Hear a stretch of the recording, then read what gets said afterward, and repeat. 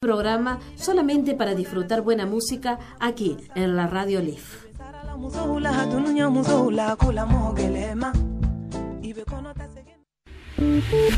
Este 23 de julio festejamos un año de aire. Festejamos un año de aire. Radio abierta con mesa debate, música en vivo, artistas invitados, feria de discos y libros y el lanzamiento de la nueva programación. Te esperamos a las 16 horas en el auditorio Luis Gagliano, Jujuy 27. Cierra en vivo, presenta Trío. Te esperamos a las 16 horas en el auditorio Luis Gagliano. Radio abierta, festejamos un año de aire. Tercera militancia. El programa de la Comisión Permanente de Jubilados y Pensionados del Cirelí. Todos los miércoles a las 19 y los domingos a las 10 y media de la mañana. Los estudiantes de la casa, el espacio para los jóvenes del Sindicato Regional de Luz y Fuerza. Escúchalo todos los miércoles a las 20 y los domingos a las 17 horas en www.radiolif.com.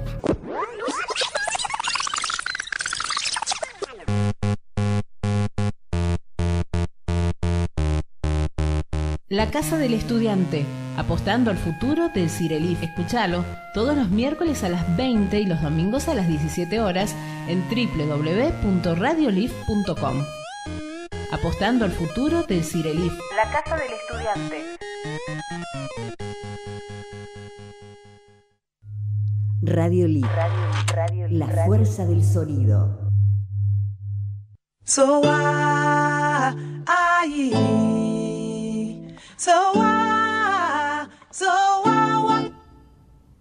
so I,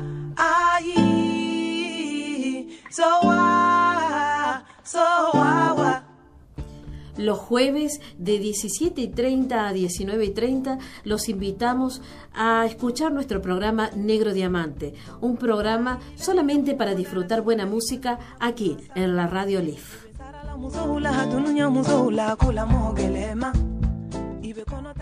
Los tangos del Capitán Beto.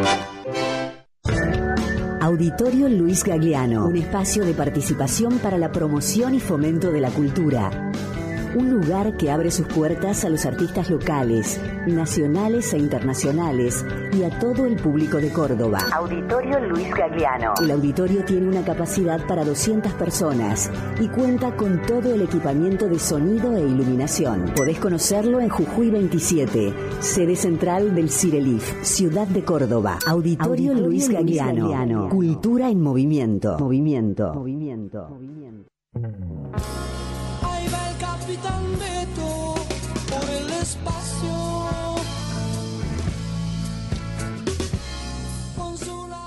Tal vez no exista el destino, pero a donde quiera que uno vaya, llevará su bagaje de sueños, sus nostalgias, su pasado, lo que fue y lo que no fue.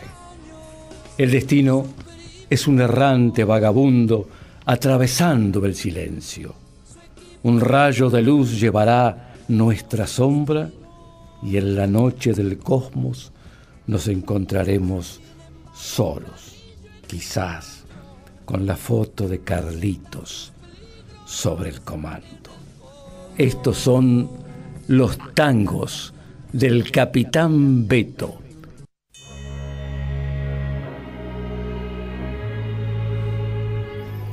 Mi nombre es Mauricio Navarro, damos comienzo al séptimo programa de Los Tangos del Capitán Beto.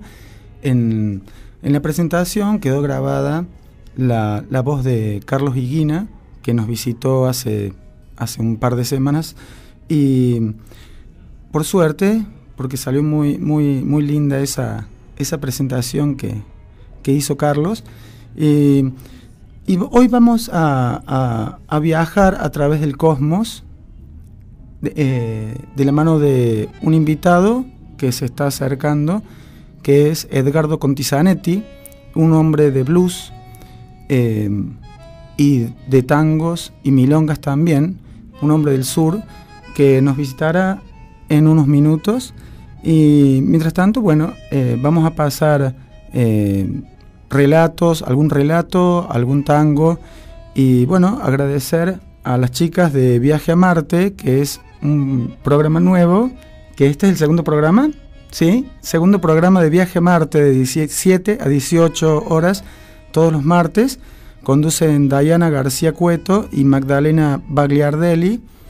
Y se ve que eh, venimos todos con una idea de, viajar al cosmos, ¿no? Viaje a Marte, los tangos del Capitán Beto.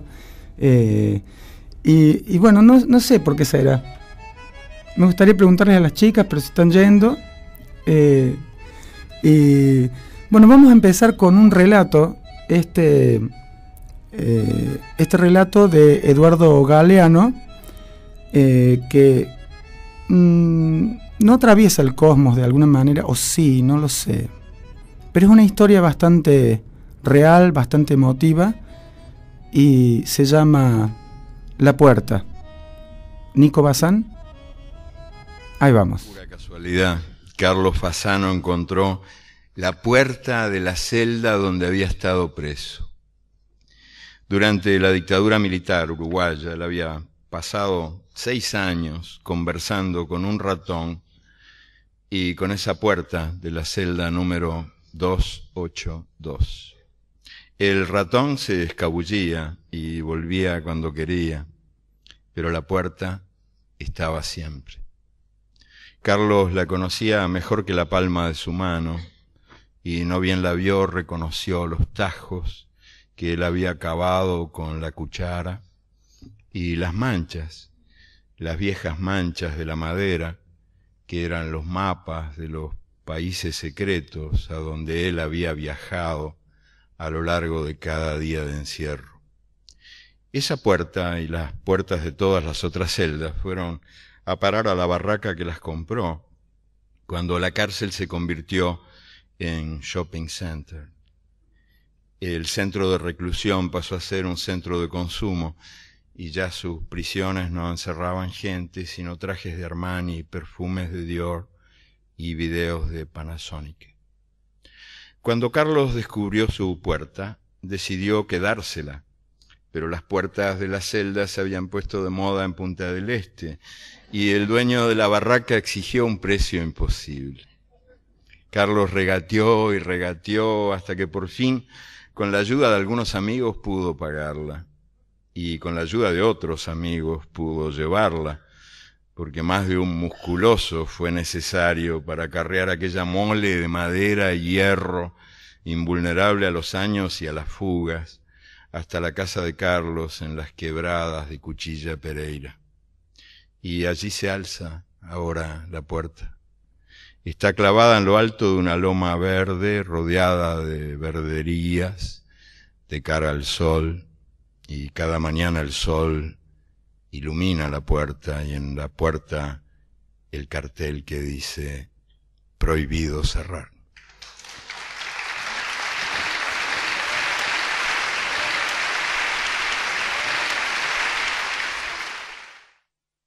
Los tangos del Capitán Beto.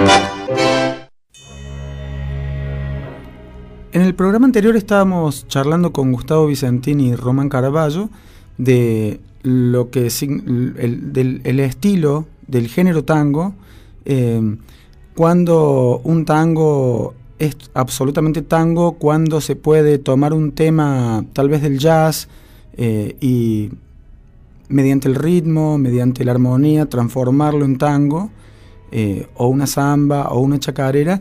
Y acá ah, tenemos un ejemplo de eso que estuvimos conversando el otro día. Eh, este es como un informe así con retroactividad, digamos, porque eh, esto pasó hace una semana. Y, pero ahora les traigo uno de esos ejemplos que, que nos va a dar Esteban Morgado, cuarteto, que justamente hoy se presenta en el Tsunami a las 22.30 o 23 horas creo, que está en la calle La Prida a una cuadra de la Cañada. Y si asistimos vamos a tener el gusto de tal vez escuchar este tema que, eh, como les decía recién, no pertenece, o sea, fue tomado del rock, ¿no? Y se llama Queen Tanguera. Ahí va, lo escuchamos.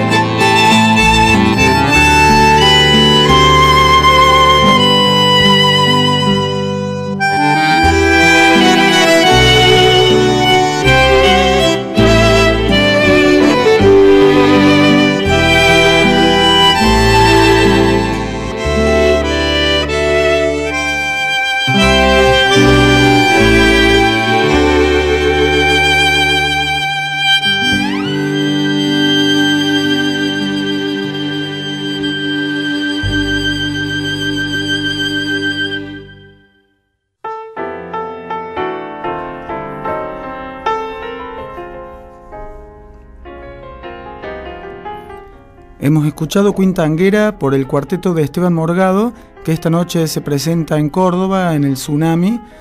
Y la historia que. El relato que, con, el que voy a continuar este tiene que ver también con Esteban Morgado eh, y está relacionado a Goyeneche. Mm, puedo comenzar con, justamente por el, por el principio y es que la historia es tan perfecta que merecería ser cierta. Dicen que sí, que Roberto Goyeneche iba manejando un colectivo de la línea 219 una madrugada de 1951, cuando se puso a cantar mano a mano.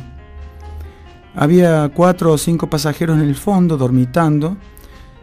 Uno de ellos se despertó, sigiloso, se ubicó en uno de los asientos de adelante para escuchar mejor era justo José Otero, representante de la orquesta de Horacio Salgam.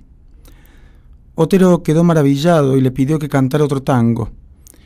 Poco tiempo después de esa improvisada audición rodante, Goyeneche, que todavía no era el polaco, que dudaba entre ser cantor o chofer porque ya tenía una familia que mantener, grababa su primer tango, Alma de Loca, con la orquesta de Horacio Salgam. Y si bien Alma de Loca fue el primer tango que graba Goyeneche. Tengo entendido que el último tango que graba lo hizo eh, con Esteban Morgado y Antonio Agri, el violín de Antonio Agri.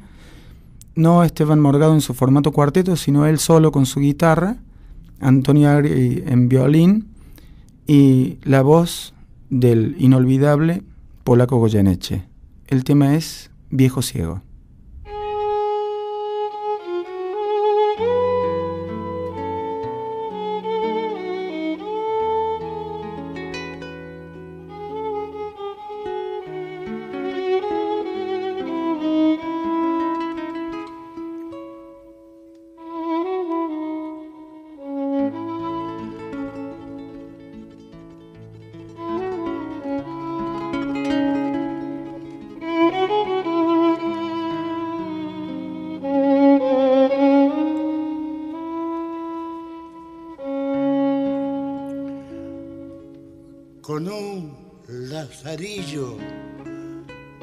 Llegas por las noches trayendo las quejas del viejo el violín y en medio del humo parece un fantoche, tu rara silueta de flaco rocín, puntual parroquiano, tan viejo y tan ciego al ir trenzando tu eterna canción, pones en las almas recuerdos añejos y un poco de pena mezclar al alcohol. El día que se apaguen tu tango quejumbroso tendrá crespones de humo la voz del callejón y habrá en los naipes suyos un sello misterioso y habrás almas simples, un poco de emoción. El día que no se oiga la voz de tu instrumento, cuando dejes los huesos debajo de un portal, los bardos cuidados, sin falso sentimiento, con una canzoneta te harán el funeral.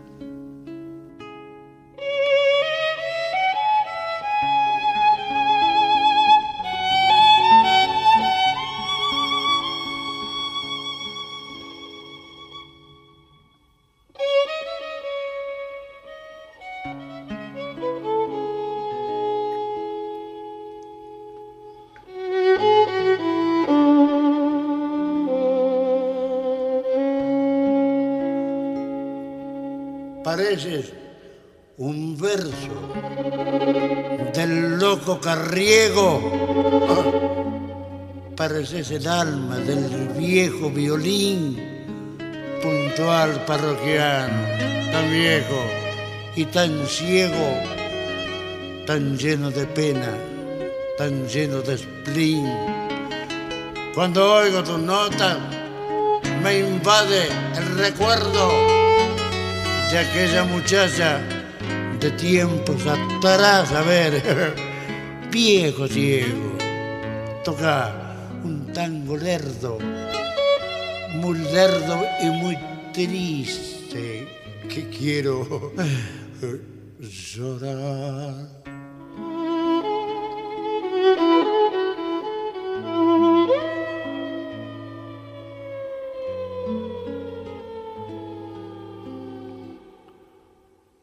Los tangos del Capitán Beto. Este tango que este tango que acabamos de escuchar, Viejo Ciego, fue compuesto en su letra por Homero Mansi. Tengo entendido que tenía 18 años cuando lo hizo y parece haber sido escrito por una persona de 70, no de 18 años.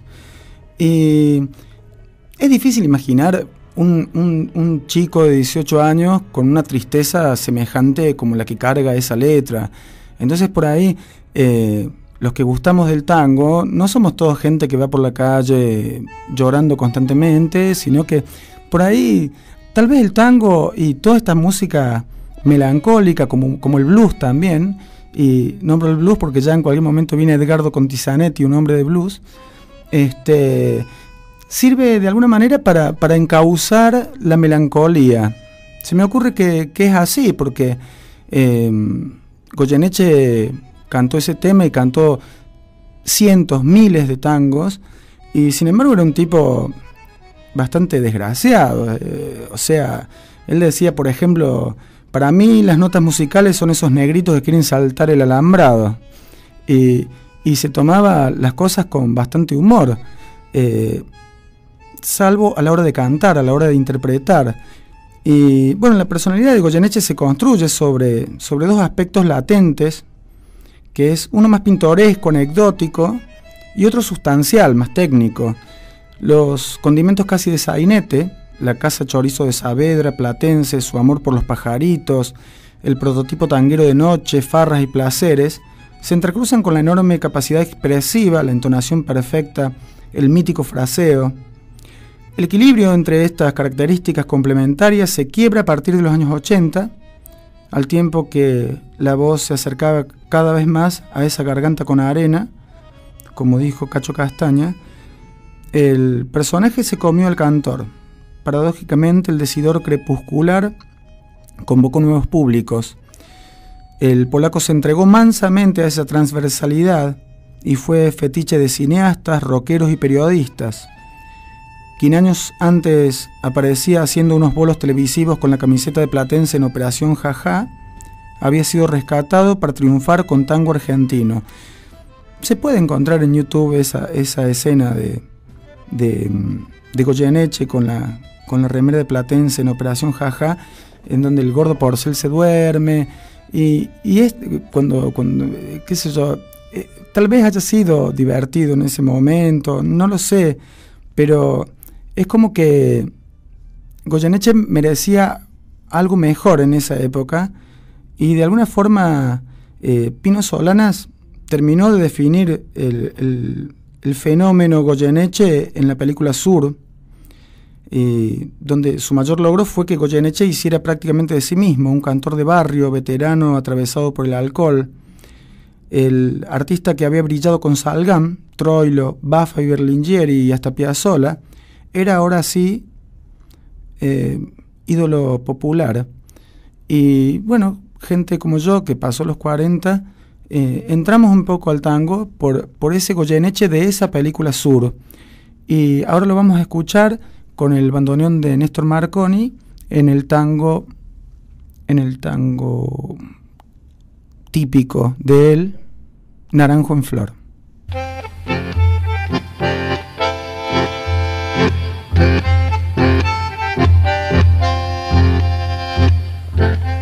Era más blanda que el agua, el agua blanda era más fresca que el río, naranjo en flor. Y en esa calle de estío, que calle perdida dejó un pedazo de vida y se marchó. Primero hay que saber sufrir, después amar, después partir y al fin andar sin pensamiento. Perfume de naranja, flor, promesas vanas de un amor que se escaparon con el viento. Después, ¿qué importa del después? Toda mi vida es el ayer que me detiene en el pasado. Eterna y vieja juventud que me ha dejado acobardado como un pájaro sin luz. ¿Qué le habrán hecho mis manos? ¿Qué le habrán hecho para dejarle en el pecho tanto dolor, dolor de vieja arboleda? Canción de esquina dejó un pedazo de vida, naranjo flor. Primero hay que saber sufrir, después amar, después partir, al fin andar sin pensamiento. Perfume de naranjo en flor, promesas de fanos de un amor que se escaparon con el viento. Después, ¿qué importa de después? Que toda mi vida es el ayer que me detiene en el pasado. Eterna y vieja juventud que me ha dejado acobardado como un pájaro sin luz.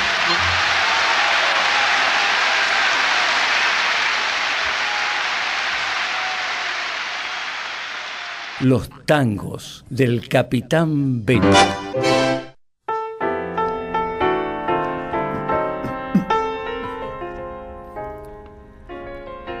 En los años 60, eh, Goyeneche supo refugiarse en tanguerías como Caño 14, al decir del periodista Mariano del Mazo de, Clarín. Eh, y en, esa, en ese mítico Caño 14 actuaron gente como Troilo, todas, todas las orquestas eh, eh, se, recluyeron de alguna manera en ese lugar. Y ahora vamos a escuchar justamente un, un tango que va dedicado a Troilo, que se llama Ese muchacho Troilo, con una introducción de Nocturno Mi Barrio, eh, que interpreta el mismo Aníbal Troilo en la voz y por supuesto en su bandoneón. ¿Sabes que me estaba acordando que hace tres días se cumplió ese, ese fatal acontecimiento de que se nos fue el gordo Pichuco, tu hermano, ¿viste? Y mi, y mi padre, va. Eh, ¿Te acordás que cuando decía, alguien dijo una vez que yo me fui de mi barrio? ¿Cuándo? ¿Pero cuándo? Si siempre estoy llegando. Y si una vez me olvidé, las estrellas de la esquina de la casa de mi vieja, titirando como si fueran manos amigas, me dijeron, gordo, gordo, quédate aquí, quédate aquí. Ese muchacho Toroilo y su gran juventud hecha de arrugas, como el fuelle que duele como él parece un corazón latiendo en las rodillas. Ese muchacho Toroilo, para mí que lo hicieron en mi casa, como al pan que la vieja siempre dio, le sobra tanto amor que rompe los bolsillos. ¿Para qué volver a investigar? La bola de cristal si ya aprendió a vivir y entendió que hay madres que se van, amigos que no están y niños que se mueren sin juguetes por eso. Mi gordo troilo tiene tantos pecados con razón que al lado de Jesús y al lado del ladrón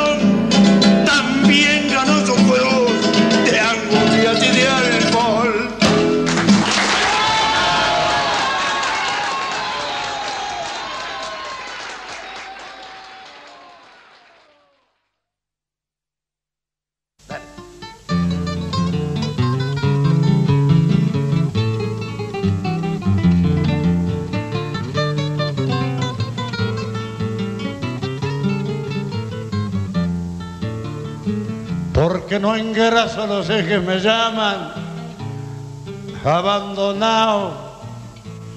Porque no engraso los ejes me llaman abandonado. Si a mí me gusta que suenen, ¿pa' qué los quiero engrasados? Si a mí me gusta que suenen, ¿pa' qué los quiero engrasados?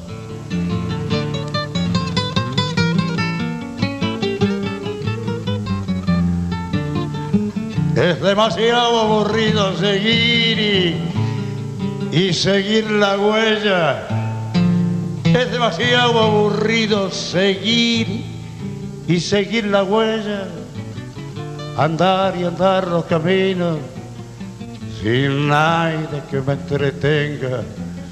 Andar y andar los caminos sin nadie que me entretenga.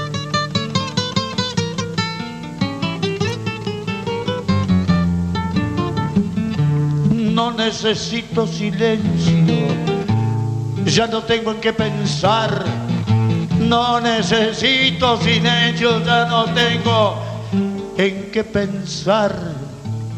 Tenía pero hace tiempo, ahora ya no pienso más.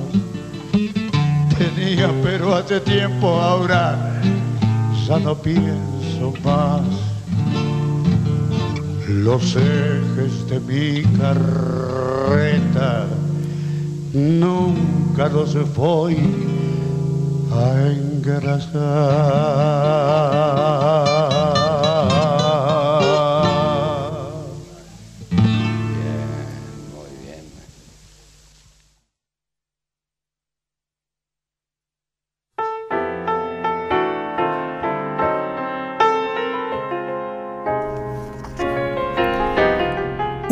Solo tango le habría bastado a Ángel Villoldo para conquistar la fama que ostenta en la historia del tango, el choclo. Página de las más bellas de la historia porteña y de las más grabadas en todo el mundo. Autor sumamente prolífico, fue también el primer letrista profesional del género, pero además fue cantor, ejecutante de guitarra, piano, violín y armónica, payador, poeta costumbrista, periodista, actor y bailarín. Con el nombre de Ángel Gregorio Villoldo Arroyo, nació en Barracas el 16 de febrero de 1861. En esa época eh, existía el circo criollo y es por eso que eh, los payadores y los músicos eh, generalmente representaban sus obras en el circo, que iba de un lado a otro, como todos sabemos, y Villoldo tenía una particularidad. Él tenía una armónica con un soporte de madera clavada a la guitarra. Eh, debo- clavada, pero clavada, clavada, en serio, no, no con tornillito, era una cosa muy, muy tosca, ¿no? Eh, tal vez no haya sido tampoco una gran guitarra. Sin embargo, con esa misma guitarra, Ángel Villoldo componía y, y bueno, no es de saber ya que, que- todos sus, sus tangos, sus primeros tangos, eh, cruzaron el, el- charco de- del Río de la Plata y, por ejemplo, el Choclo fue grabado también por um, Louis Armstrong con el título de Besos de Fuego y tal vez porque en aquel entonces mm, no se sabía mucho sobre, sobre eh, autores y compositores, sobre derechos de autor y ese tipo de cosas. Eh, entonces por ahí se tomaba, se tomó esa melodía, la melodía del choclo, y, bueno, le agregaron una letra en inglés, a Louis Armstrong le gustó, Eh, después Louis Armstrong visitó Buenos Aires también y me estoy yendo por las ramas, por las nubes y me voy a ir a la esquina. Ya hemos hablado de las esquinas. Me voy me voy a un rincón y vamos a escuchar el esquinazo que, eh, que no es justamente este, una esquina grande ni nada de eso. Esquinazo era un golpe.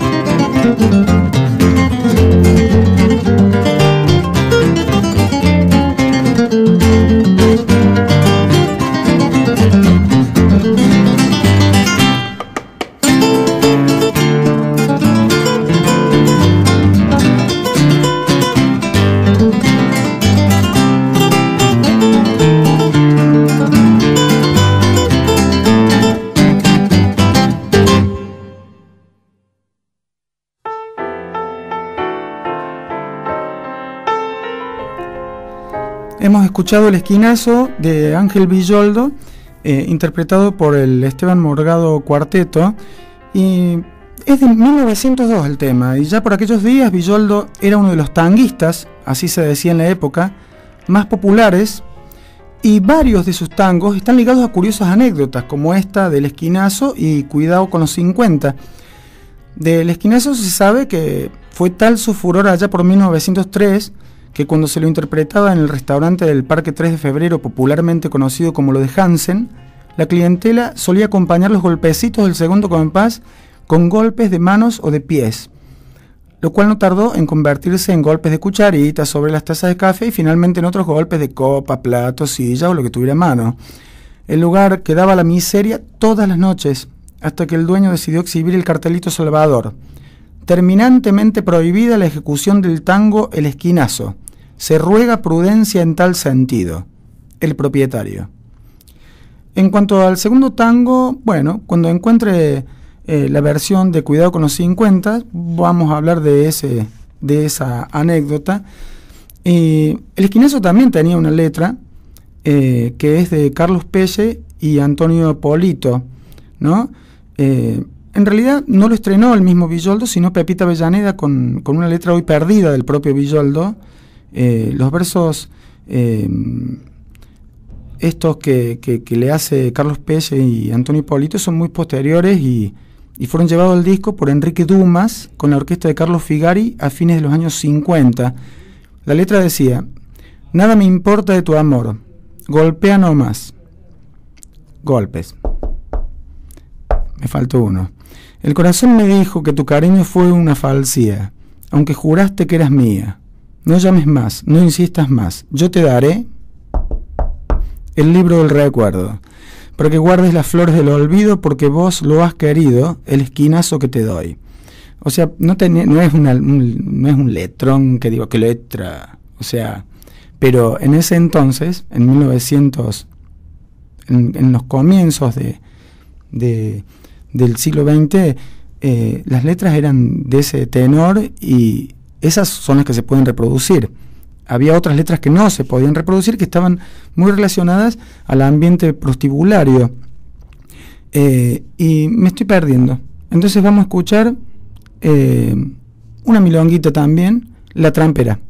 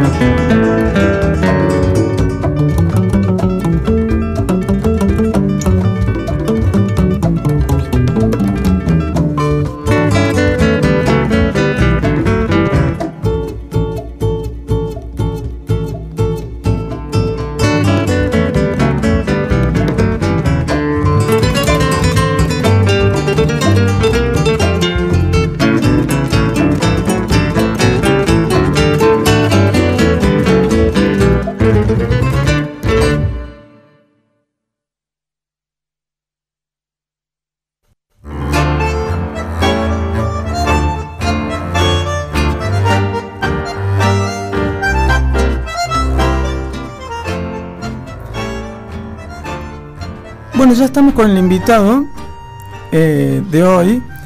Eh, hace un rato estábamos hablando de, de Goyeneche, eh, ¿no? Y que, que bueno, que le, le- le preguntaron algo acerca de lo que estaba pasando con el tango y, eh, y bueno, él dijo que hace 40 años gustaba el tango y no se puede pretender que todo siga así. Ahora lo que gusta es el rock. Eso decía Goyeneche, eh, bueno, en un momento que aparece el rock, ¿no? Con toda su fuerza. Y en el fondo me parece es lo mismo. Eh, es lo que dijo él, Goyeneche, eh, sus últimos años los pasó ampliando horizontes, cantando aquí y allá, grabando los ejes de mi carreta que hemos escuchado hace un rato, eh, como La Cigarra o Los Mareados con Mercedes Sosa. Eh, y pretendía despedirse lo grande, tenía planeado un disco con Enrique Cadícamo y otro con Mariano Mores, no lo pudo hacer. Y él vivió eh, en sus últimos tiempos eh, en una especie de comunión con los demás géneros, ¿no? Se acercó a él Fito Páez luego de la película Sur. Y, ¿Y por qué les estoy haciendo esta analogía así? ¿Analogía se dirá? Cuando algo, dos cosas se parecen. Puede ser. Puede ser. El que está hablando es Edgardo Contizanetti y la analogía es porque él es un hombre de blues, ¿no? ¿Cómo estás, Edgardo? Hola, ¿qué tal? Buenas tardes, Mauricio, ¿cómo estás? Gracias por la invitación y bueno, saludo para todos los que están escuchando. Sí, señor. Este, sos un hombre de blues, pero yo recuerdo, mira, hace muchos años ya, Ajá. este, yo estaba ahí en mi puesto del Paseo de las Artes y vos ibas a tocar en el escenario eh, con un era un trío, creo, ¿no? Sí, puede ser se hace unos años. ya. Hace muchos, Unos más, más de 10. Y más o menos 15, más o menos puede ser también. Sí, nosotros, este, era una época, digamos, muy linda del, del paseo, no, por ahí no tenía la explosión que tiene hoy, ¿no es cierto?, la cantidad de gente Sí. que hay, pero se permitía tocar ahí en una glorieta, una especie de, Y nos dejaban tocar ahí, nosotros siempre este, ensayábamos en la semana antes de, de una fecha importante y eh, digamos que un poco convocábala y un poco también para hacer una prueba en directo pedíamos tocar ahí la semana anterior de que tocáramos. Y bueno, no me acuerdo quién era el que estaba a cargo en esa época, pero siempre sí, no había problema y tocábamos nosotros Claro. ahí. Y por ahí la gente se sorprendía porque nosotros no pasábamos la gorra. Sí, sí me Este, acuerdo. No pasábamos la gorra y alguno decía, che, ¿y, y qué dónde gana? te dejo? no?" Claro. Y bueno, digo, qué sé yo, este, generalmente la, la idea era, era un poco probar en vivo y en caliente, y en porque el blues es, es muy directo, muy expresivo, más yo que toco instrumental, eh, probar esas cosas a fondo ahí en, en, en vivo y con la gente, y siempre hubo un, un- un ambiente muy, muy cálido ahí en Lo que en siempre me llamaba la atención era que entre los blues aparecía un Piazzolla. Siempre. Sí, sí, sí. sí. eh, Lo que pasa es que también hay, hay un gran respeto por el tango, eh, en muchos sentidos, y, y siempre tocábamos tango. Lo que pasa es que por ahí nos, de- nos debíamos en ese entonces hacerlo por ahí un poco más en serio, ¿no es cierto? Más, más, no sé si en serio, sí más definido. Eso lo pudimos hacer cuando ya edito mi primer disco que decido incluir un tango, Ajá. propiamente dicho. de- de- ¿Cómo se llama el primer disco? Mundo Blues se llama. El primer Blues. disco lo grabé en el 2003. Ajá. Y ahí, digamos, pusimos una versión de Grisel, Sí. que la hicimos muchos años con la Marlon Blues y después como solista también. Muchos años la hicimos, pero digamos como una canción, digamos. Eh, a mí me gusta mucho el tango canción, me gusta mucho el tango en general, ¿no? Pero el tango canción soy más de esa de esa vertiente por ahí, ¿no es cierto? No, no tan arrastrado, sino Claro. más, más centrado por ahí en, en- en la melodía, ¿no es cierto? Y eso es lo que intentamos con Grisel, lo pudimos grabar, pero también hacíamos Dios Nonino, Verano Porteño. Claro. Eh, y empezábamos parecido al tango y terminamos bien blues, ¿no es cierto? Un poco Claro. más tirado al rock. Sí, el, el tema, del, bueno, el tango canción eh, con letras como Grisel eh, apareció con Gardel, ¿no? Lo que charlábamos, lo que comentaba hace un rato es que las letras de Villoldo formó, formaron parte de una, de una, Claro. de un primer periodo donde las letras eh, ni siquiera se las llamaba letra, eran letrillas. Claro, ¿no? lo, lo que sucede por ahí en parte es que eh, nosotros, la mayoría, ¿no? Incluso los medios, todos difunden el tango de la década del 40, un poco de Gardel para acá, ¿no es cierto? Sí. Pero, y por ahí no se puede vislumbrar la revolución que fue para el tango el mismo Carlos Gardel con Lepera. Lepera era un excelente escritor, periodista brasilero, y entonces él ya no escribía como un, digamos, como un argentino, escribía diferente. Entonces, después está el mito si Gardel componía o no, algunos dicen que sí, otros dicen que no. Gardel era un tipo extremadamente virtuoso, así que no me sorprendería que haya, él haya podido hacer esa revolución cambiando el tango, haciéndolo un poco más canción, para poder aprovechar las letras de Alfredo Lepera, entre otros, ¿no es cierto? Digamos que ahí viene, y aparte ya Gardel incluso ya era universal, porque ya iba a Estados Unidos, iba a Colombia, iba a México, o sea, un tipo que tenía otra, otra, otra, otra visión del tango y generó este tango que fue modernísimo por su momento, ¿no? Porque Claro. de ahí para atrás uno ya se ya parece muy muy antiguo ya lo Y demás. le dio un tinte universal, digamos. Claro, pero por ejemplo, si uno se, se- se ubica. Vamos a tomar Gardel del año 30. Sí. Antes del 30, el tango suena muy, muy como si fuera 100 años menos que Gardel. Claro. sí. Esa es la impresión, ¿no es cierto?, que, que, que da con el, eh, el- la, la orquesta Víctor, por ejemplo, todo ese tipo de cosas que eran más folclóricas, la orquesta característica. Eh, entonces se nota, nosotros por ahí no, no hemos vivido el, el cambio que generó Gardel en todo Ajá. eso. Sí vivimos el cambio que generó Piazzolla, tal vez. Eh, no directamente de la época, porque yo, bueno, por ahí Piazzolla fue muy controversial cuando yo ni siquiera había nacido, yo soy del año 72, ¿cierto? Ajá. Pero sí lo pudimos ver cuando fallece eh, Piazzolla. Piazzolla. Muchos se sorprendieron, ¿no es cierto?, de la cantidad de músicos que vinieron a, a despedirlo. Este, antes de fallecer, Piazzolla había tenido un trasplante de corazón, Que también había generado mucha conciencia acerca de su trascendencia mundial, ¿no es cierto? Claro, claro, claro.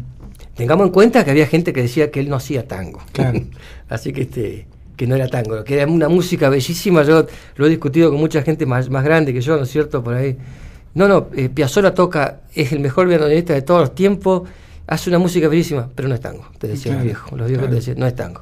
Y bueno, pues la pucha. Sí, no, y, y- y todo se, de alguna manera se, se universaliza o, o con esta historia de, de- de la globalización y qué sé yo. Viste, aparece, por ejemplo, la película 12 monos con Bruce Willis Sí. eh, y, y está con la, la- la música es de Piazzolla. por ejemplo, Claro. en donde se ve un Nueva York del futuro y, y la música de Piazzolla encaja como si hubiera sido escrita para eso. Y Piazzolla ya había muerto hacía rato, o sea que eh, fue utilizada su música para eso. Y ¿a qué voy con esto? Y que por ahí eh, eh, la universalidad del asunto. Claro. eh, pasamos también hace un rato un tema terriblemente triste. Y bueno, yo comentaba un poco al aire que, que, que hay músicas que, que son como un vehículo de, de la melancolía, de la tristeza, y bueno, que no necesariamente una persona que ejecuta un, un- un género o una melodía triste o melancólica es una persona triste, digamos. Claro. Uno no va llorando por las calles.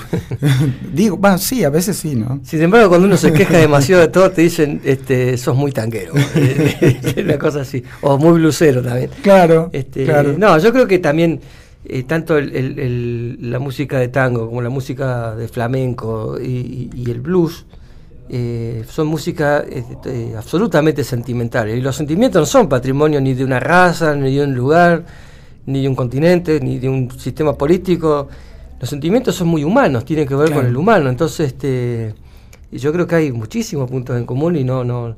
eh, por ejemplo, eh, a Jimi Hendrix cuando él aparece el término heavy metal, ¿no es cierto? por su forma de tocar la guitarra muy a volumen muy alto, ¿no es cierto? Sí. Con, la, con la copla y todo eso. Y él tocaba este, muchos yates de Buddy Guy, de, Robert Johnson. así. Él tocaba blues rural con ese sonido, con Ajá. ese con un phaser y con un montón. Entonces un periodista dijo, no, los Jimi Hendrix hace el, hace el blues del siglo XXI. Porque en realidad es blues lo que hace Sí. Jimi Hendrix, solo que, que el sonido cambia el sonido y el, tempo a lo mejor. Y a Piazzolla le dijeron lo mismo. Él hacía el tango del siglo XXI. Eh, y tal vez se quedaron cortos. Tal vez, tal vez. Sí, pero digamos que es el mismo, es la, mi- es la misma matriz, Claro. eh, digamos, de consideración, ¿no es cierto? Claro. Yo eh, creo que eh, me pasa con el camarón, por ejemplo, que ves un DVD de camarón y después, este, así sea pleno verano, después hace frío cuando termina de cantar. Totalmente. Lo mismo pasa con, con, con Piazzolla y lo mismo pasa con Hendrix, digamos. Son de esos Sí. tipos tan intensos, tan fuertes, tan profundos que, que escuchamos después de eso. Claro, claro, claro, claro. Sí, bueno, Estamos acá entonces con Edgar Condizanetti, Nico Bazán en el ¿Estás grabando Nico el programa? Me parece muy bien. Sí, señor. Y bueno, tomando unos mates con Edgardo. Exquisitos mates, la verdad, Sí. muy, muy rico. Muy bueno. Esperé que, que llegara para arrancar con eso. Muy bueno, mate amargo y bien caliente como nos ¿Viste gusta a los sureños acá. Vos sos del sur, ¿no? Sí, sí, sí, sí. De ahí te viene también el- el- el- la historia de la milonga, el gusto por la milonga. Sí, puede ser. La milonga, digamos, es mi blues, eso. Yo me di cuenta, yo digamos que en Córdoba tengo dos etapas. Una etapa cuando era joven, hace, hace más de 20 años, que vine por primera vez a estudiar, bueno, y después ya cuando volví a Río Negro estuve viviendo nueve años allá y volvimos hace dos o tres años Ajá. nuevamente a vivir en Córdoba. Mi señora acá de Córdoba, mi hija también, todos, y he vuelto, ¿no es cierto?, en 2011. Sí. Y entonces este, en, esta, en, este, en esta vuelta que yo tuve mi propio pago, este, el mismo paisaje me fue llevando para el lado de la milonga, ¿no es cierto? La milonga no urbana, sino la milonga campera, la Sí. milonga nuestra que es diferente a la milonga del sur de la provincia de Buenos Aires. Ajá. Eh, es mucho más desprolija, es más rural, más... Claro. Y su similitud con el blues, que es lo que estamos persiguiendo hace mucho tiempo, el blues Ajá. rural, el blues de Mississippi, que no tiene nada que ver con el blues urbano, por ejemplo. Este, Claro. Es muy diferente en cuanto a, a- a las a ver, posibilidades técnicas de los guitarristas y instrumentistas, ¿no es cierto? Eh, muchas veces las escuelas de música o la posibilidad de, de estudiar una música o desarrollar habilidades hace la, la diferencia de gusto entre una cosa, dentro de lo mismo, ¿no? Dentro Sí, de una cosa y la sí, otra. sí, sí, sí.